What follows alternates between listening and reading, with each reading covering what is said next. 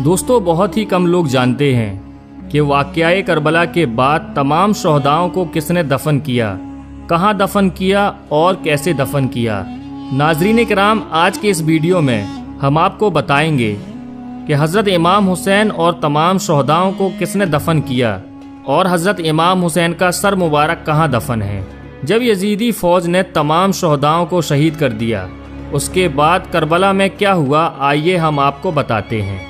दस मुहर्रम का दिन गुजरने के बाद अब वो शाम आई, जिस शाम में करबला के जानिसारों के, जिस्मों के कटे हुए हिस्से, ज़मीन करबला में बिखरे हुए थे। ये शाम कितनी भयानक शाम थी, कि जिस तरफ़ भी नज़र जाती, हर जगह मैदान करबला में कटे हुए जिस्म के हिस्से दिखाई देते। नवासा रसूल की शहादत के बाद, फौज यजीद के हाथ में तमाम शहीदों के कटे हुए सर थे, और वहाँ बगैर सर के ज़मीन करबला पे लाशें बिखरी हुई थी। कितना दर्दनाक रहा होगा ये मंज़र कि पैगंबर इस्लाम, हुजूर सल्लल्लाहु अलैहि वसल्लम, जिन्होंने मुसलमानों को एहतराम मैत और कफन दफन के अहकाम बताए, उन्हीं का नवासा और ख़ानदान के दूसरे अफराद और सच्चे मुसलमानों की लाशें बेगोर व कफन करबला के मैदान में छोड़ दी गई।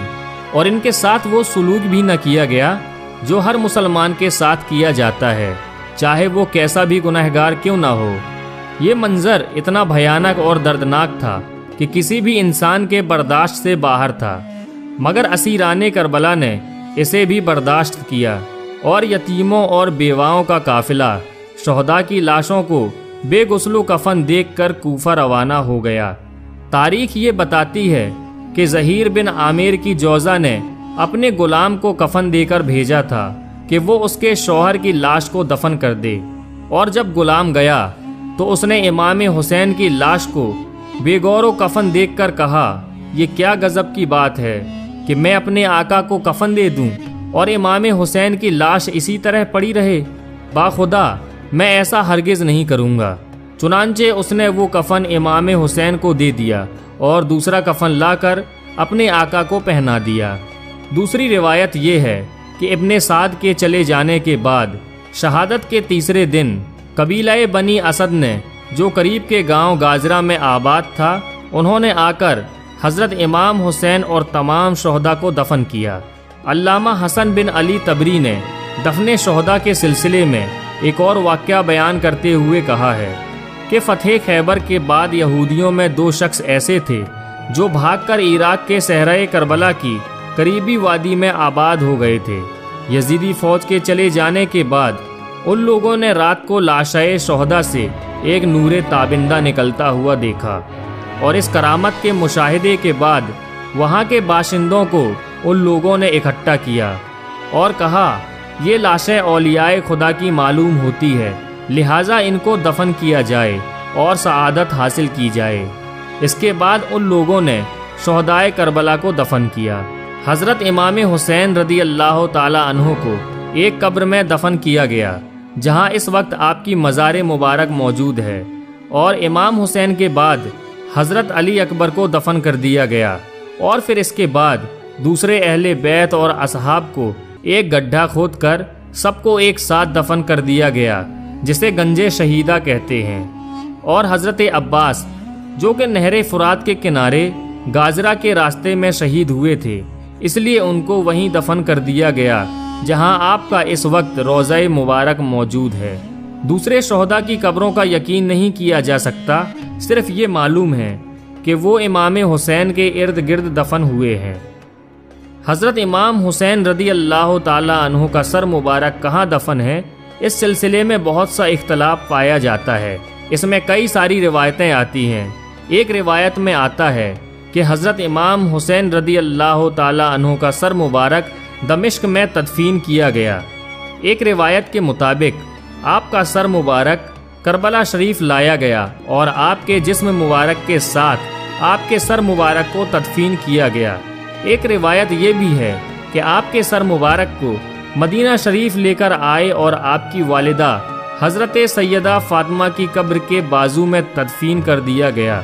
एक रिवायत ये भी है कि यजीद ने कहा, हज़रत इमाम हुसैन रदी अल्लाह तहों का सर लेकर जाओ और पूरे शहर में इसका जुलूस निकालो।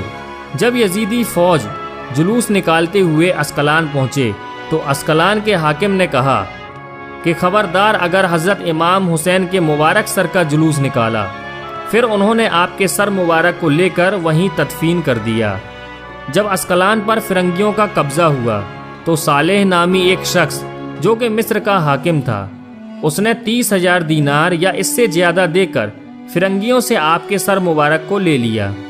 और फिर उस हाकिम ने आपके सर मुबारक को रेशम के कपड़े में लपेटा और वो नंगे पैर वहाँ से कुछ अफराद के साथ आठ जमादियुल आखिर 548 हिजरी को मिस्र में आपके सर मुबारक को लेकर आए। लोग बताते हैं कि उस वक्त भी हज़रत इमाम हुसैन रदी अल्लाह तहों का सर मुबारक बिल्कुल तरोताज़ा था और उसमें खून भी नज़र आ रहा था। और फिर हज़रत इमाम हुसैन रदी अल्लाह तहों के सर मुबारक को मिस्र के एक शहर काहिरा में दफन किया गया। जिस जगह में आपके सर मुबारक को दफन किया गया है, उसे मशहद हुसैनी कहते हैं। नाजरीन कराम एक बहुत बड़े बुज़ुर्ग हैं, जिनका नाम शेख शहाबुद्दीन बिन हनफी है। वो इस कसमकस में थे कि यहाँ पर हज़रत इमाम आली मकाम हज़रत इमाम हुसैन रदी अल्लाह तहों का सर मुबारक है या नहीं? उसके बाद हुजूर सल्लल्लाहु अलैहि वसल्लम ने आपको ख्वाब में बशारत के ज़रिए समझाया कि यहीं पर मेरे नवासे इमाम हुसैन का सर मुबारक तदफीन किया गया है। शेख शहाबुद्दीन फरमाते हैं कि उस दिन से मेरा यकीन हो गया कि हज़रत इमाम हुसैन का सर अनवर यहीं पर है। फिर मैंने मरते दम तक सर अनवर की जियारत नहीं छोड़ी। कौन भूलेगा वो सजदा हुसैन का? खंजरों तले भी सर न झुका हुसैन का। मिट गई नस्ल यजीद करबला की खाक में। कयामत तक रहेगा जमाना हुसैन का। कुरान कहता है, मरते नहीं खुदा वाले। ये शान रखते हैं दुनिया में मुस्तफ़ा वाले। हवाएँ कुफ्र ना ठहरी तो देखना एक दिन। निकल पड़ेंगे जमीनों से करबला वाले।